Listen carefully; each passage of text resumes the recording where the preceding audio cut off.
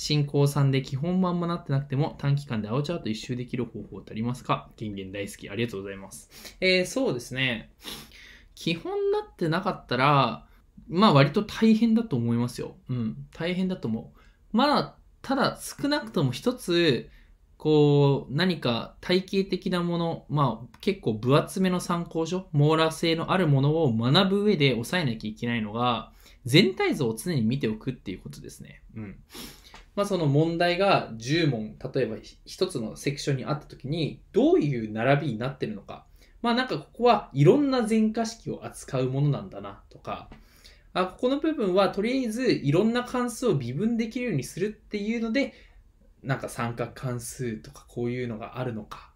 とかっていうのを見ながら、じゃあまずはそのいろんなものを微分するっていう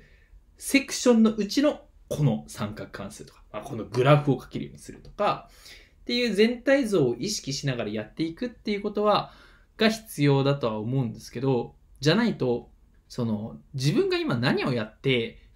いつ終わるのかっていう目処が立たないわけですよね。それが普通に、あの、なんていうか、モチベーションにつながらないので、きついっていうところですね。あと、せっかく短期間でやろうっていう意思があるのであれば、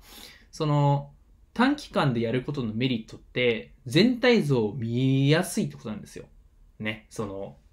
1年かけてやったら、なんか1年前のこととかよくわかんなかったり、その横のつながりっていうのが見えてこなかったりするので、そこですよね。短期間でやることのメリットっていうのは、まとめるので、その全体のつながりっていうのが分かりやすいんですよ。だからつながりを意識しながら問題を解いていくと、すごくいいんじゃないかなと思います。まあちょっと回答とは微妙にずれてしまいましたが、うん、短期間で、うん、そういう裏技チックなのはそんなにないっちゃないのでね。うん。